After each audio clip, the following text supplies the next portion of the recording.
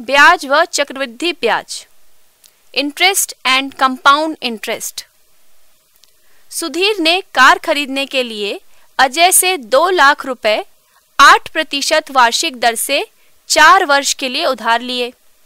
शर्त यह थी कि प्रत्येक वर्ष के अंत में उस वर्ष का ब्याज जमा करना होगा। पहले वर्ष उसे ब्याज के सोलह हज़ार रुपए जमा कराने थे। लेकिन किसी कारण से वह यह राशि नहीं जमा करा पाया। अगले वर्ष वह बकाया राशि व इस वर्ष का ब्याज जमा करने के लिए अजय के पास गया। अजय ने सुधीर से कहा, तुम्हें दोनों वर्षों का ब्याज मिलाकर तैतीस हज़ार दो सौ अस्सी रुपए देने होंगे।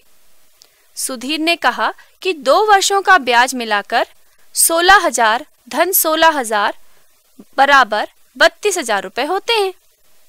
अजय ने कहा, हम आपसे कोई अतिरिक्त रुपए नहीं ले रहे हैं। यह तो पिछले साल नहीं चुकाए गए ब्याज पर ब्याज है। यह चक्रवृद्धि ब्याज कहलाता है।